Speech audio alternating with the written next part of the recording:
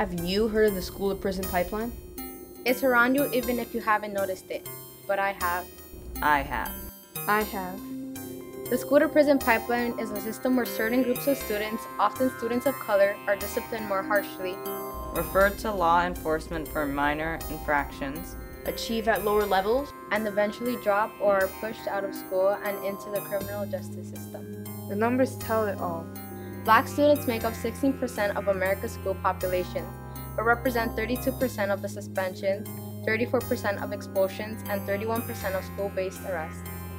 Every seven seconds during the school year, a Latino public school student is suspended, and Latino students are 1.5 times likelier to be suspended than white students. Even little kids aren't safe. Although black students are 18% of the total pre kinder population, they make up almost half of all preschool suspensions. And FYI, school suspensions are the top predictors of kids who become incarcerated by ninth grade. That's why this year we're going to make some noise and get some people to learn more about what it's like to learn while being black and brown. We're students from WIN, Upbeat, Corona Youth Music Project. We're students from YoSL.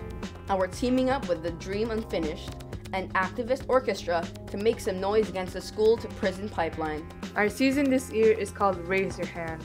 It features a program of works by all composers of color. It will include an immersive exhibit from the Museum of Impact. And it'll be conducted by the amazing Roderick Cox.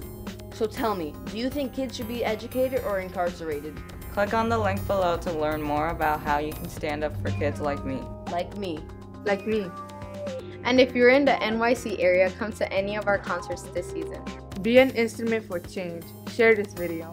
Visit the link below to learn more about us. And raise your hand today.